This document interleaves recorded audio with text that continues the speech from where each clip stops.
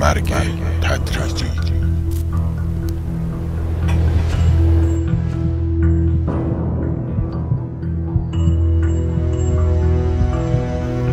دود اهریمن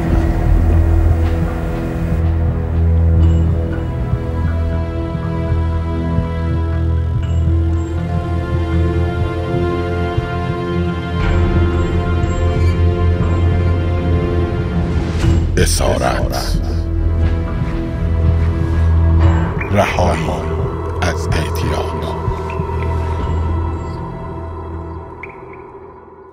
دوستان عزیز سلام عرض می کنم خدمت شما. امیدوارم تا بال از این برنامه ها لذت برده باشید. برنامه هفتم رو به فیض خداوند می خواهیم شروع بکنیم.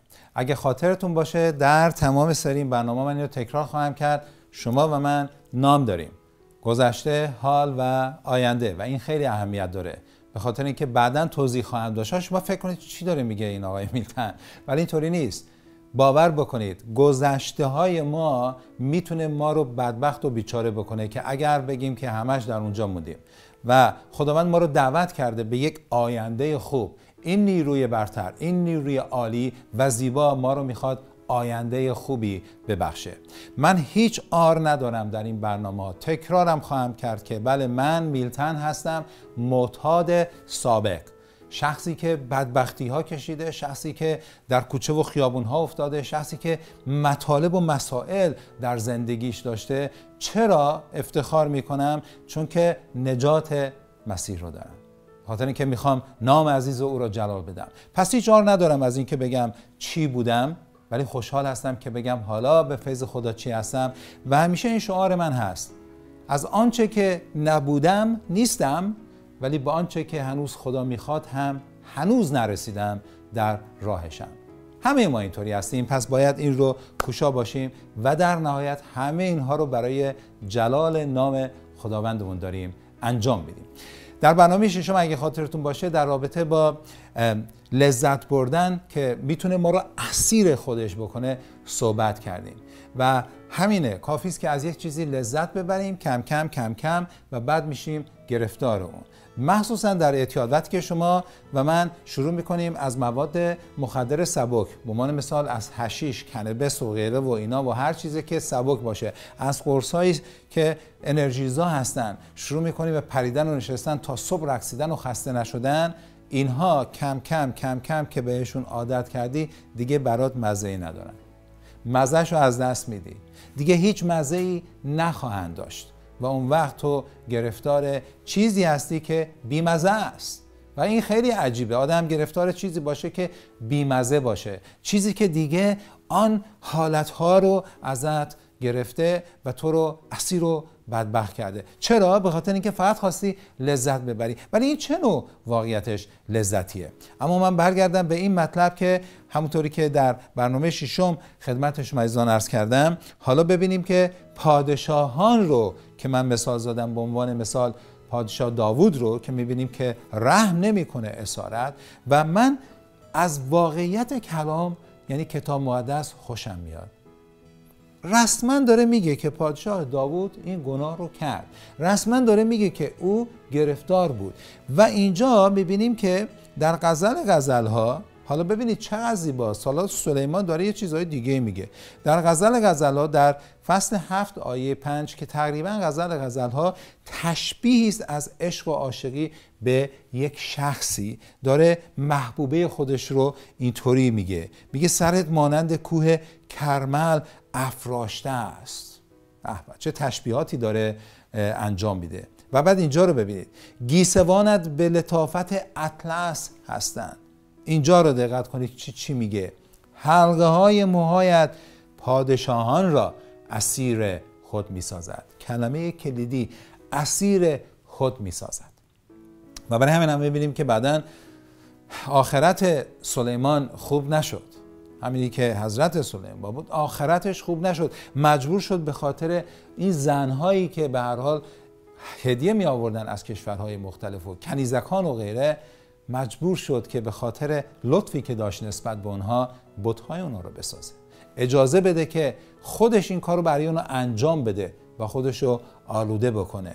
حلقه های موهایت پادشاهان را اسیر می سازد امروز ما در حلقه های مختلفی قرار می گیریم حلقه های مختلف ما رو قشنگ میپیچونه دورش و ما همینطوری هی دور می‌زنیم دور می‌زنیم به جایی نمی‌رسیم.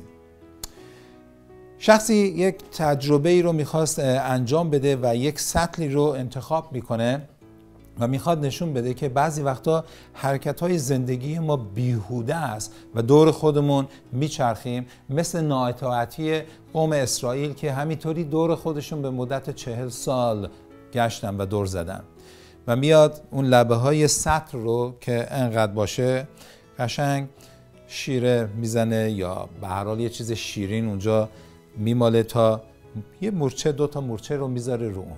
این مورچه شروع می‌کنه همینطوری رفتن رفتن رفتن رفتن و همینطوری هی میگرده هی میگرده هی میگرده به خاطر اینکه دنبال اون مزه به خاطر اینکه دنبال همونه که هست. می‌دونی چرا؟ چون هست. مورچه معمولا تا جایی میره که هست. اگر نیست توقف می‌کنه برمیگرده به یه جای دیگه میره. و این نشون میده که در زندگی ما در فکر ما اگر هم نیست ما که مورچه نیستیم. عجیبه نه؟ مورچه میسته از این حرکت ولی من انسان نمیستم چون که میرم می‌بینم که نیستش دوباره می‌خوام پیداش کنم. و این اتفاق میفته حتی اگر منو می‌گیرن حتی باور بکنید حتی اگر در زندان بیفتیم. من یادمه که در زندان مخدر بود. اگر داشتی پول می‌دادی و همونجا مصرف می‌کرد اگه نداشتی ممکن بود چند روز بالاخره عدسه نمی‌دونم و سر تا پا عرق و از همه جای بدن نمی‌دونم جاری شدن آب بینی و دهن و غیره با همه تو قاطی قاطی هم دیگه یه هفته دیگه خوب می‌شدی. اما یک چیزی در اونجا اسارت بود اینجا. کی من از این در میان بیرون؟ وقتی که اون مهرو می‌زدن یا تو روی دست یا پشت دست که به اصطلاح مرخص داری میشه وقتی که این مهرو می‌زدن برای خود من اینطوریه و دوستای من هم اینطوری بودن. احتمالا شما هم اگر افتاده باشید اینطور بودید. مثلا در مخدرهای سنگین. من دارم حالا صحبت مخدر می‌کنم و الکل. عجیبه. وقتی که شما بدنتون خوب شده ها شما دیگه اون حالت ها رو ندارید خماری ها رو ندارید.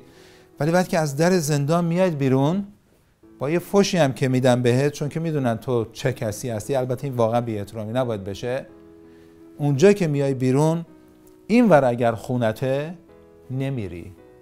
این ور میری که مخدر هست. عجیبه نه؟ می‌دونی چرا؟ بدن نیست. اینجا جا گرفته. اینجا رو پر کرده. عشقی هست محبتی هست که تو رو می‌کشه. در حالی که من می‌تونم بیستم دم این در بگم که نه. بهت میگم نه. میرم اونور میدون چرا نمی‌تونم بگم؟ همونطوری که در برنامه پیشین گفتم چون که او داره منو کنترل می‌کنه. نه من اونو. من می‌تونم به میلم امیانم بگم نه. ولی گویا دوست دارم که برم. کی می‌رسه که من برم؟ آخه اون پوکر رو بزنم. کی میره من پشت اون منقل بشینم؟ کی من اون سرنگه رو بکشم و تزریق؟ آخه کی میشه؟ خب که چی بشه؟ مگه من این کارو می‌کردم؟ لذت میبردم؟ باز همون نشه می‌شدن. باز تو عالم هپرود و بعد فردا دوباره دوباره دوباره بدبختی ها شروع می‌شد. پس ما ببینیم که واقعیتش این یک مرض اسارت هستش. این یک مرضی است که شما و منو به خودش واقعا می‌گیره. پس ما تا زمانی که در این جسم هستیم در انواع و اقسام اسارت ها و بندها می‌تونیم گرفتار باشیم. اما اجازه بدید یه مقدار به اسارت ها بپردازیم. حداقل من پنج تا اینجا اسارت دارم و برای شما می‌خوام اینا رو توضیح بدم. مطمئنم که شما هم خیلی از شما عزیزان می‌دونید ولی اجازه بدید اسارت ها رو بدونیم. اما نندازیم گردن این اسارت هایی رو که من دارم میگم. اینجا خود من مطرح هستم. یکی از این اسارت ها یه مقدارم قبلا اشاره کردم اسارت های روحی و روانی ماست. یعنی اولین اسارت می‌تونه روحی و روانی ما باشه که مربوط به آسیب های روحی و روانی است که اکثرا در زمان بچگی روی ما اثر گذاشتن یا در مسیر زندگی به طور مخصوص در شکست های عشقی، مالی و غیره ما رو اسیر خودش کرده و یحس و ناامیدی آورده. این مطلب واقعیت داره. اکثر مردم از زمان بچگی دارن زجر می‌برن. از آن چی که در بچگی برای اونها اتفاق افتاده. برای من هم همین اتفاق افتاده اتفاقا. در زمان بچگی در زمان شکلگیری در زمانی که احتیاج هست بچه محبت بشه. در زمانی که احتیاج هست بچه قوی بشه. زمانی که احتیاج هست بچه یه تکیهگاه داشته باشه. شما وقتی تکیهگاه نداشته باشید خواهید افتاد. و خودساز خواهید شد. اما خودسازی شما از کجا میاد؟ شرایط داره که در اون اسارت های دیگه خدمتون خواهم گفت. بستگی داره در کجا هستی در چه اجتماعی هستی. اما برگردم به بچگی. یکی از چیزهای بدی که در بچگی وجود داره اینه که تو و من می‌تونیم یک زخمی رو داشته باشیم. این زخم رو چون که ما بچه هستیم هنوز کوچیک هستیم نمی‌فهمیم زخم رو متاسفانه وارد می‌کنن ممکنه والدین وارد کنن. ممکنه والدین نباشن فامیل ها وارد کنن. هر نوع زخمی زخمای تجاوز زخمای بیحرمتی زخمای تو سر زدن زخم این که تو پسر هستی زخم این که تو دختر هستی. وقتی این زخم در اونجا وجود داره این زخم با ما شروع می‌کنه به بزرگ شدن. این زخم تو رو می‌گیره. اسیرت می‌سازه. این زخم اونجاست که تمام حالات تو رو از تو بگیره. یادآوریت می‌کنه و به جایی می‌رسه که انقدر درش فکر می‌کنی که نمی‌دونی چیکار بکنی باید بشینی و زار زار گریه بکنی. چون چیز دیگری نمی‌تونی بکنی. نمی‌تونی به کسی که این زخم رو وارد کرده چیزی بگی. به عنوان مثال اگر این زخم رو پدر من به من وارد کرده من هر روز بچم هر روز کوچیکم. فکر نکنید بچه ها نمی‌فهمن. اتفاقا در فرهنگ ما خیلی اشتباهه بچه هست نمی‌فهمه. اتفاقا بچه اصلا به بیشتر می‌فهمن. من نمی‌تونم به پدرم بگم تو این کارو کردی. من نمی‌تونم به مادرم بگم تو این کارو کردی. دختر همچنین نمی‌تونه به پدرش بگه یا به مادرش بگه. ولی این اتفاق افتاده. اینجا این زخم بزرگ میشه. ولی کرامتی وجود داره. ولی یک محبتی وجود داره. پدر دیگه مادر دیگه پسر دیگه دختر دیگه و من دارم با آنها بزرگ میشم. ولی وقتی که عصبانی میشم یهو یک کینه و نفرتی به وجود میاد. حتی می‌تونم من از پدرم متنفر باشم می‌تونم از مادرم متنفر باشم و کم کم این زخم بزرگ و بزرگ و بزرگ و بزرگتر میشه. این زخم اگر شفا پیدا نکنه مرحله خطرناکیه. چون که تا بزرگ میشی هزار و یک تا چیز دیگه وجود داره. حالا توضیح خواهم داد در اجتماعات چه اتفاقاتی میفته فشار میاد فشار میاد فشار میاد چرکین تر میشه می‌زنه تمام بدنت رو. یهو با یک شخصی آشنا میشی که اونم یک زخمی داره بهت میگه که ببین بی خیال این باش. اینو بگیر استفاده کن ببین چقدر تو رو آرامش خواهد داد. شروع اعتیاد شروع اسیر شدن. اگر شما اشعیا فصل 53 رو بخونید که اون مصائب مسیح رو یعنی اون فیلم مصائب مسیح رو از روی همان کتاب اشعیا فصل 53 ساختن کلام خدا در اونجا چقدر زیبا میگه. از زخمهای او ما شفا یافتیم. کسی می‌تونه زخم تو رو کسی می‌تونه زخم منو هر زخمی باشه شفا بده که خودش به خاطر زخمای تو زخمی شده باشه. وقتی که میگه از زخمای او یعنی آن میخایی رو که زدم به دستاش آن میخایی رو که زدم به پاهاش آن نیزه رو که فرو بردم به پهلوش آن زخمایی که از تاج خار یعنی لعنت آن نشان خار یعنی لعنت این زمین بر سر او قرار گرفت آن حرفای زخمی رو که به عیسی مسیح زدن آن نیروی برتر خودش رو آمد آنقدر فروتنانه کم کرد پایین آورد پایین آورد تا زخم تو و زخم من امروز شفا پیدا کنه.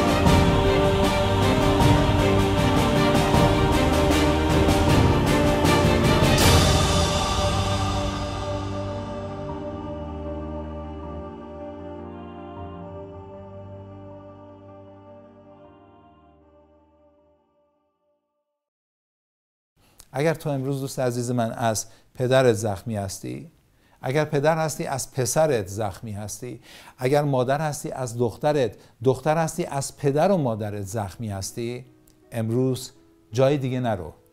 امروز در این لحظه یک فکر بکن من می‌خوام یک نفر پیشم باشه و آن یک نفر نه دکتره و آن نفر نه روانشناسه آن یک نفر نه پدره نه خانواده است نه کسی دیگر آن یک نفر خداونده. از او بخوا جای خودش داره احترام داره پدر احترام داره مادر پسر دختر فامیلا پزشکان روانشناسان همه اینا جا دارن.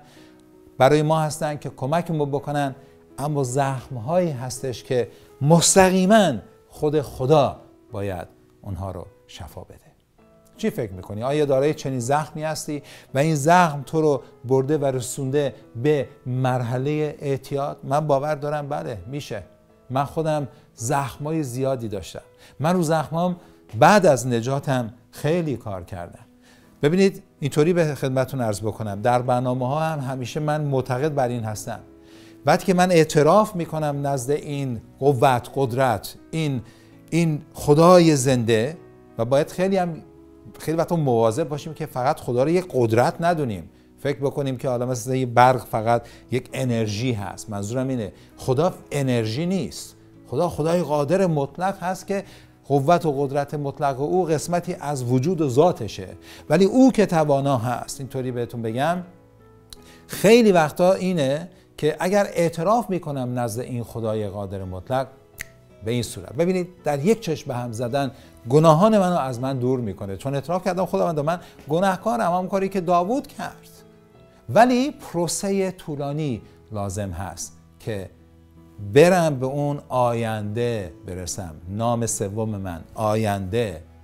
و این مرحله آینده رفتن در زندگی خود من زخم هایی بوده که شاید تا ده سال پیش میکشونم شاید تا امروزم من با خودم دارم میکشونم. اما وقتی که میام به آینه عیسی مسیح نگاه می‌کنم خودم رو در آینه از طریق عیسی مسیح نگاه می‌کنم ببینم که این زخم ها پر هستن و دارن منو اذیت می‌کنن و من میگم آخه این اون این کارو کرده باید بهاشو بده.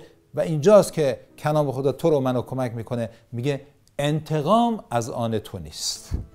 انتقام از آن من است. چرا؟ کی؟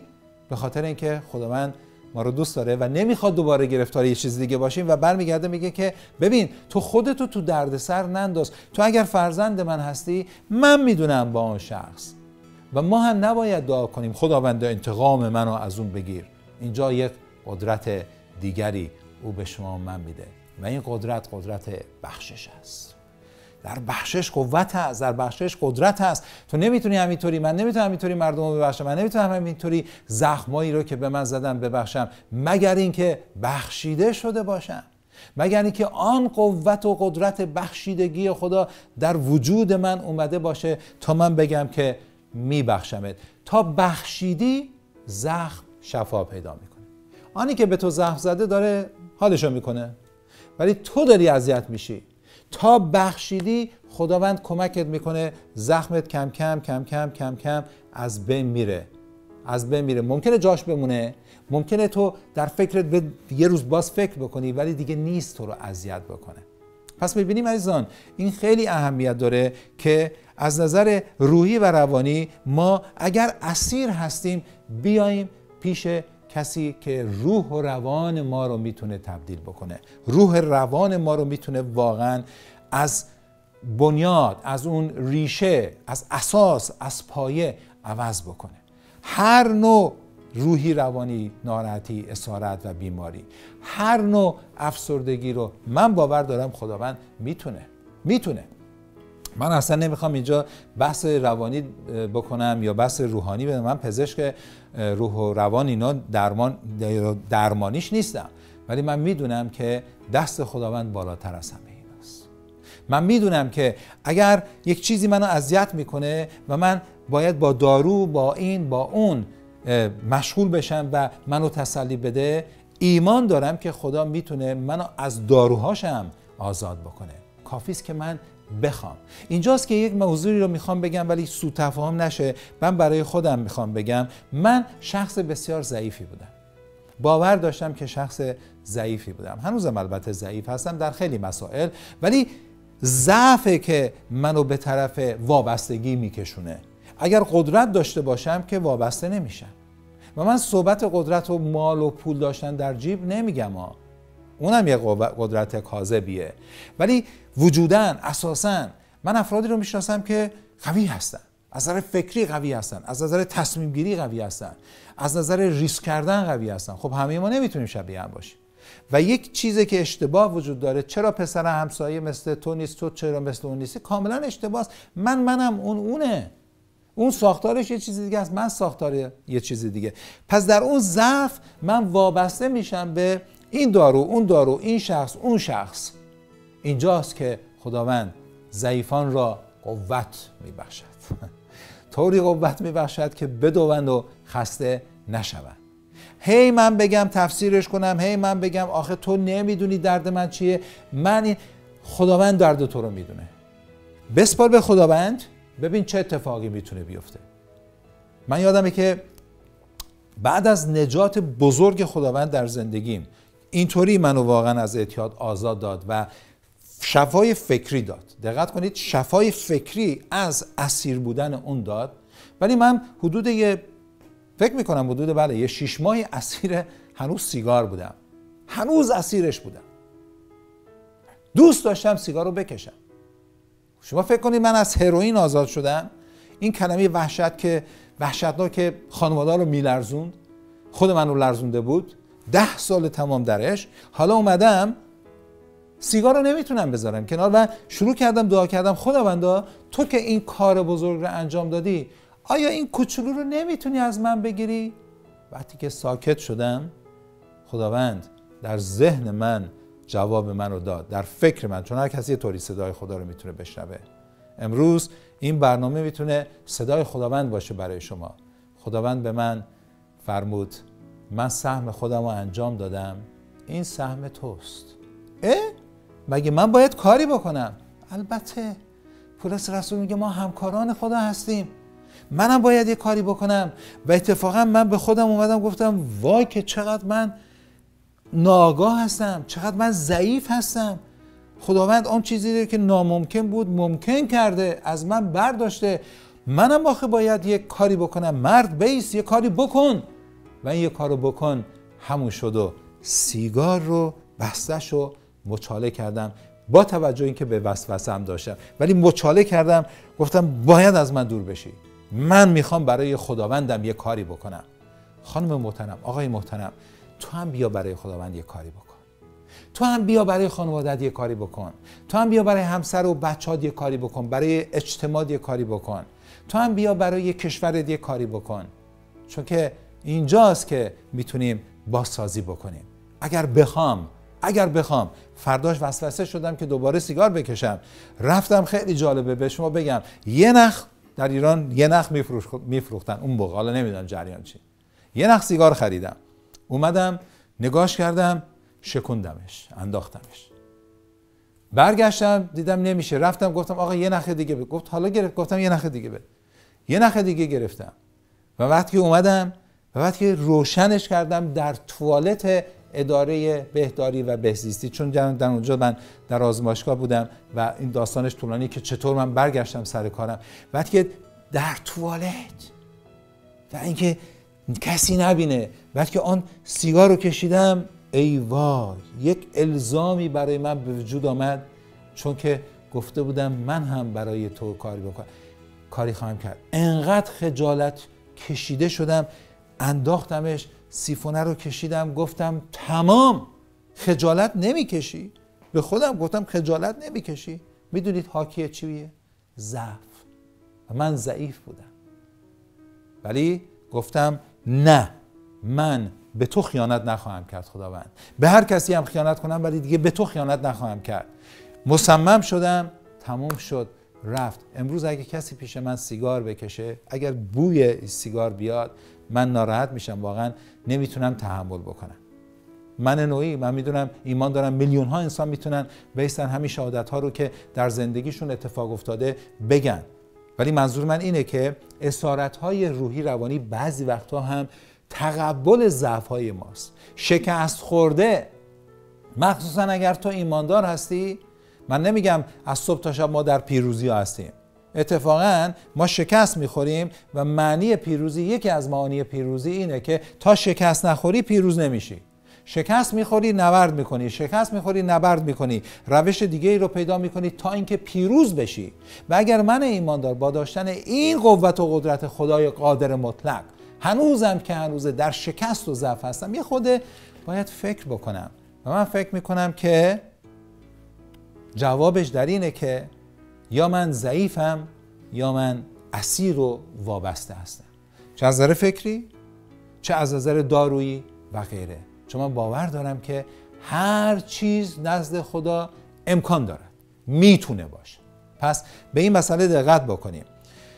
اسارت های روحی روانی واقعا می‌تونه ما رو کلافه بکنه. اسارت های روحی روانی می‌تونه ضربه های مهلکی به خانواده ها بزنه. اگر من امروز اسیر روحی و روانی هستم و همش میگم که با من کار نداشته باشید من اینطوری هستم. آقای دکتر به من گفته که اصلا با کسی حرف نزن با غیره.